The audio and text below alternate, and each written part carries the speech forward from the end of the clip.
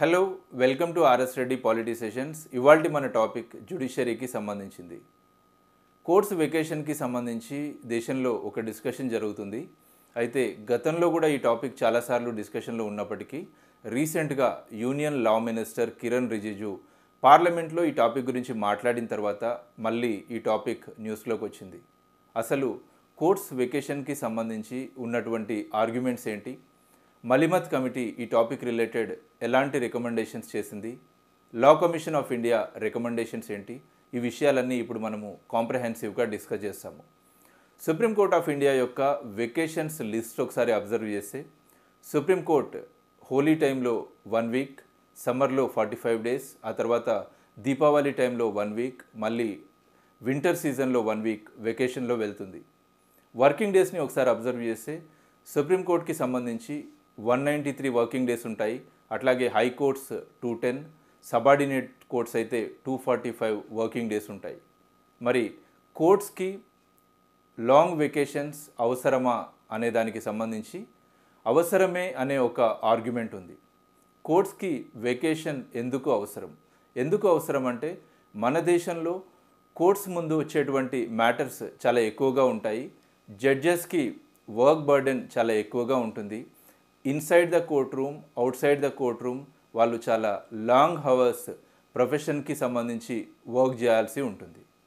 ఇలా చూసినప్పుడు ఖచ్చితంగా జడ్జెస్కి రెస్ట్ అండ్ రిక్రియేషన్ కోసము వెకేషన్ అవసరం అవుతుంది అనేది ఒక ఒపీనియన్ నైన్టీన్ ఎయిటీ సెవెన్లో లా కమిషన్ ఆఫ్ ఇండియా ఒక రికమెండేషన్ చేసింది. ఏంటి అంటే మన దేశంలో ప్రతి పది లక్షల మంది జనాభాకి ఒక యాభై మంది జడ్జెస్ ఉండాలి అని. కానీ ఇప్పటికీ ప్రతి పది లక్షల మంది జనాభాకి దాదాపుగా ఇరవై ఒక్క మంది జడ్జెస్ మాత్రమే ఉన్నారు. అంటే ఖచ్చితంగా జడ్జెస్ పైన వర్క్ లోడ్ చాలా ఎక్కువగా ఉంటుంది. రెస్ట్ అండ్ రిక్రియేషన్ కోసం మాత్రమే కాదు ప్రొఫెషన్ రిలేటెడ్ రీసెర్చ్ కోసం కూడా అట్లాగే జడ్జిమెంట్స్ రాయడం కోసం కూడా ఈ వెకేషన్ పీరియడ్ అనేది అవసరం అవుతుంది అనేది ఇంకొక వాదన. ఎందుకంటే లీగల్ ప్రొఫెషన్లో చాలా ఇంటలెక్చువల్ ఎబిలిటీస్ అవసరం అవుతాయి దానికి కన్సిస్టెంట్గా రీసెర్చ్ కూడా అవసరం అవుతుంది అందుకోసమే చాలామంది జడ్జెస్ ఈ వెకేషన్ పీరియడ్ని చాలా ఆప్టిమం లెవెల్లో ప్రొఫెషన్ కోసము యూటిలైజ్ చేసుకునే వాళ్ళే ఎక్కువ మంది ఉంటారు అనేది ఒక ఒపీనియన్. అల్టిమేట్గా ఏ విధంగా చూసినప్పటికీ ప్రొఫెషన్కి సంబంధించి ఎబిలిటీస్ని ప్రమోట్ చేస్తుంది ఈ వెకేషన్ పీరియడ్ అనేది. ఒక వాదన. అయితే దీనికి ఆపోజిట్గా ఇంకో రకమైన ఆర్గ్యుమెంట్స్ కూడా ఉన్నాయి. ఆ ఆర్గ్యుమెంట్స్ ఏంటి అంటే ఇది బ్రిటిష్ పీరియడ్ నుంచి ఒక కలోనియల్ లెగసీగా వస్తుంది వెకేషన్ పీరియడ్ అనేది. అప్పట్లో బ్రిటిషర్స్ మన దగ్గర ఫెడరల్ కోర్ట్ జడ్జెస్గా ఉన్నప్పుడు వాళ్ళు సమ్మర్లోనేమో ఈ హాట్ సమ్మర్స్ని భరించలేక ఇంగ్లాండ్ వెళ్ళిపోయేవాళ్ళు. అట్లాగే మళ్ళీ క్రిస్మస్ టైంలో ఇంగ్లాండ్ వెళ్ళిపోయేవాళ్ళు. దానికంటే మించి అప్పుడు కోర్టులలో ఎక్కువగా కేసుల సంఖ్య చాలా తక్కువగా ఉండేది.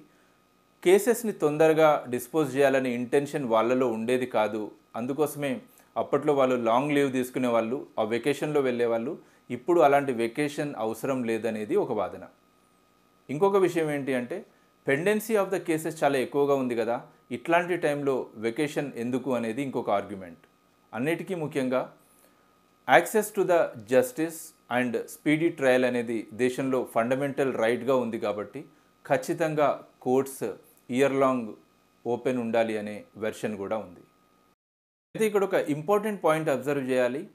కోర్ట్స్ వెకేషన్లో ఉన్నప్పటికీ కూడా ఇంపార్టెంట్ కేసెస్ని టేకప్ చేస్తాయి.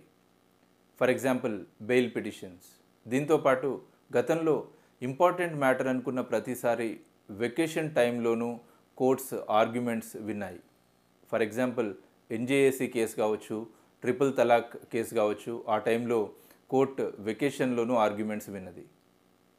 దీంతోపాటు ఇంకొక ఇంపార్టెంట్ విషయం ఏంటి అంటే అవసరం అనుకున్న ప్రతిసారి జ్యుడిషరీ లేట్ నైట్ వరకు వర్క్ చేసిన సందర్భాలు ఉన్నాయి దీనికి best example Yakub Memon case.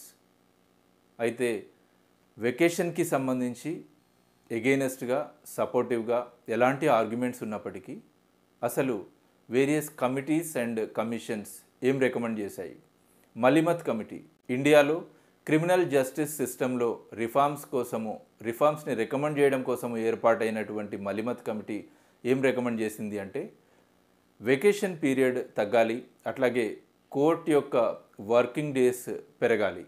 Supreme court విషయంలో అయితే టూ నాట్ సిక్స్ అట్లాగే హైకోర్టు విషయంలో అయితే two thirty one working days ఉండాలి అని రికమెండ్ చేసింది Malimath committee. Law commission of India ఏమో supreme court high court working hours పెరగాలి అట్లాగే వెకేషన్ పీరియడ్ తగ్గాలి అని రికమెండ్ చేసింది. అంటే మలిమత్ కమిటీ అయినా లా కమిషన్ అయినా కంప్లీట్ అబాలిషన్ గురించి కాకుండా రిడక్షన్ గురించి ప్రస్తావించాయి. మరి జ్యుడిషరీ జ్యుడిషరీ నుంచి ఏదైనా ఇనిషియేటివ్ ఇప్పటివరకు జరిగిందా అంటే టూ థౌజండ్ ఫోర్టీన్లో ఒక ఇంపార్టెంట్ ఇనిషియేటివ్ తీసుకుంది సుప్రీంకోర్ట్ ఆఫ్ ఇండియా. అదేంటి అంటే సమ్మర్ వెకేషన్ గతంలో టెన్ వీక్స్ ఉండేది దాన్ని సెవెన్ వీక్స్కి తగ్గించారు ఆ ఇయర్ నుంచి. RM Lodha former chief justice of India mention చేసింది ఏంటి అంటే కోర్ట్ మొత్తానికి వెకేషన్ ఇవ్వకుండా జడ్జెస్కి షెడ్యూల్ ప్రిపేర్ చేసి ఒక క్యాలెండర్ ప్రిపేర్ చేయడం వల్ల ఇప్పుడు మనం మాట్లాడుతున్న టాపిక్కి ఒక సొల్యూషన్ ఉంటుంది అని RM Lodha justice RM Lodha ప్రస్తావించారు. మరి ఫారెన్లో వేరే దేశాల్లో ఎలా ఉంది? యుఎస్ అండ్ ఫ్రాన్స్లో చూస్తే ఈ రెండు దేశాల్లో వెకేషన్ సిస్టమ్ లేదు. కానీ మన దేశం యొక్క జ్యుడిషరీకి సంబంధించిన అంశాల్ని యుఎస్ అండ్ ఫ్రాన్స్తో కంపేర్ చేయలేము. దీనికి కారణం ఏంటి అంటే అక్కడ టేకప్ చేసేటువంటి కేసెసే చాలా తక్కువగా ఉన్నాయి. మన దగ్గర వర్క్ లోడ్ వర్క్ బర్డెన్ చాలా ఎక్కువగా ఉంటుంది. ట్వంటీ ట్వంటీ వన్లో సుప్రీంకోర్టు ముందు దాదాపు ట్వంటీ నైన్ థౌజండ్ పిటిషన్స్ వచ్చాయి. ఒక ఆ ఇయర్ సుప్రీంకోర్టు మొత్తం ట్వంటీ ఫోర్ థౌజండ్ పిటిషన్స్ని డిస్పోజ్ చేసింది. సో ఇది కోర్ట్ వెకేషన్స్కి సంబంధించినటువంటి discussion. Thank you. Thank you so much for watching.